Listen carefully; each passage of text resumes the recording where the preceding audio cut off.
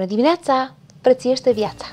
Dragile mele, v-am promis că revin cu regulile de bază pe care le-am învățat de-a lungul timpului, legate de alegerea potrivită a produselor de îngrijire a părului pentru fiecare dintre voi. Din fericire, meseria mea m-a învățat detalii pe care poate altfel nu le-aș fi aflat atât de simplu. Le împărtășesc cu voi. Încep cu fetele ca și mine, care au parte de un păr prea puțin ascultător.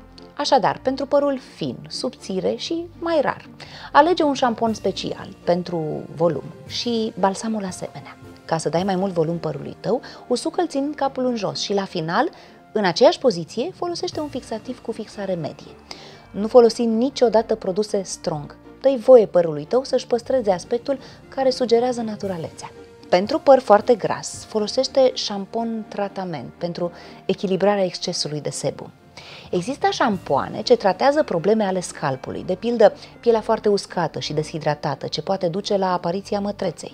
Părul fragil, rebel, fără strălucire, supus multor procese chimice sau termice, cum sunt decolorarea, vopsirea, coafarea zilnică cu ajutorul uscătorului, întinderea cu placa sau folosirea bigudiurilor în exces, este părul ce trebuie tratat cu un șampon, balsam și măști de hidratare. Neapărat! Pentru părul vopsit, în special în situațiile când părul are o culoare intensă sau e traumatizat, are nevoie să-și reia strălucirea din ziua vopsirii, există șampon și balsam dedicat.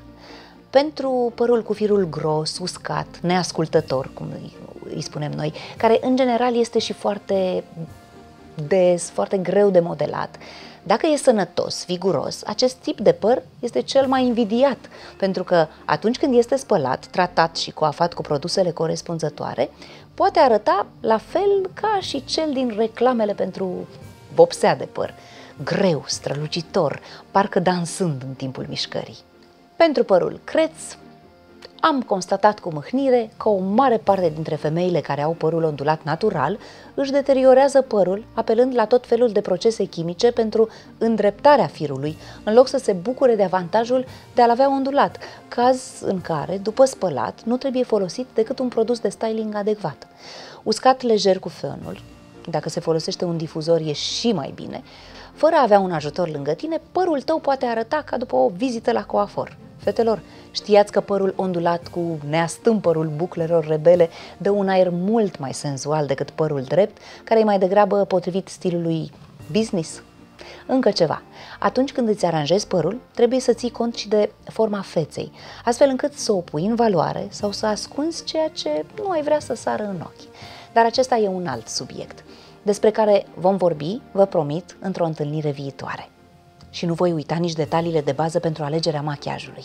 Fii sigură pe tine, nu te sfii să arăți că te simți frumoasă și lumea va observa asta.